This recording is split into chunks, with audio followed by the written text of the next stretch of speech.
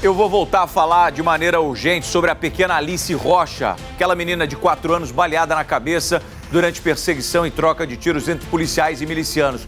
O Daniel Pena Firme, com quem eu conversei ao vivo agora há pouco, pediu para voltar, que ele tem novas informações sobre o caso. Pena Firme, é com você. A família da pequena Alice acaba de chegar aqui ao Hospital Miguel Couto, na Gávea, Zona Sul do Rio de Janeiro. Deixa eu falar com a dona Glória, que é a avó. É mãe da, da, da mãe ou mãe do pai? Mãe da Andressa, mãe da mãe. Qual é a informação mais atualizada que a senhora tem a respeito do estado de saúde da sua neta, dona Glória? É que ela está estável. Ah, teve piora, mas, mas também não melhorou. É, não teve piora nem melhorou. O que até o momento eu sei é que ela estava estável. Ô, ô, dona Glória, o que que, o que que se lembra daquele momento? Qual é o relato que se tem? Quer dizer, o que que se passou? Como é que a família está encarando isso? Ah, muito sofrimento, muito sofrimento, porque é uma coisa que ninguém esperava. Parece um baque na família. A família está toda destruída. Tá?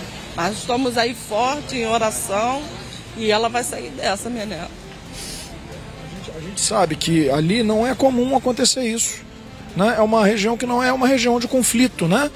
É, e aí acontece na família. É, mas isso está acontecendo em todos os lugares, né? Acontecendo em todos os lugares. Nunca imaginei que minha neta fosse acontecer isso com a minha neta. Nunca. Vê na televisão? Oi? Vê na televisão? É, vê na televisão e está toda hora passando. Aí traz muita dor. Qual é o sentimento no momento? É de fé, é de esperança, é de revolta? Esperança, fé e revolta. Revolta. Eu quero que o culpado pague pelo que fez com a minha neta, entendeu? Ela é uma criança só de 4 anos, uma princesa. Né? A senhora relatou agora há pouco para mim que a menina gosta de cantar, a menina canta hino religioso, hino, hino evangélico, né? Ela tem um, um vídeo lindo, ela louvando o Senhor entendeu? Que eu fiz, ela vira e mexe, eu tomo conta durante o dia para a mãe dela trabalhar. E ela tá sempre louvando, cantando, a, avó, a outra avó também, entendeu? Uma menina, ela vai sair dessa, se Deus quiser. Muito obrigado, dona Glória. Que Deus abençoe a senhora, viu? Ali está sentado o pai, o pai da. Eu, eu, eu não vou chegar ali não, da Arlisson. Ele está num momento ali de muita emoção com a mãe dele, né? É, é, a mãe dele, é outra avó, não é isso, dona Glória? É, eu não vou chegar ali não, da Arlisson é pai da menina tá preocupado, eu não vou chegar com o microfone ali não, o rapaz tá chorando ali. É uma situação delicada, emociona todo mundo. Eu te peço desculpa, mas eu, eu, eu não vou ali entrevistar aquelas pessoas ali, Darlis. Eu acho que está passado já o recado. A situação é essa. A pequena Alice permanece internada aqui no Hospital Miguel Couto, na Gávea.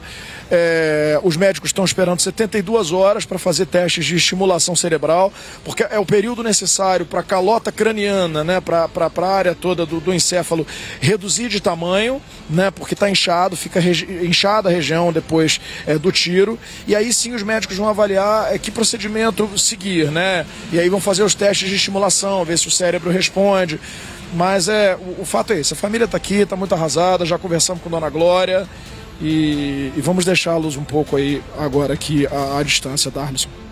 É muita força, fica a nossa oração, Daniel Pena, filme extremamente sensível, né? Percebeu a cena, é, mais do que o, o tino jornalístico, o ser humano falou mais alto. Obrigado por enquanto, a Dona Glória, o pai, a mãe, e aos outros avós muita força neste momento. Se Deus quiser, ela vai sair dessa.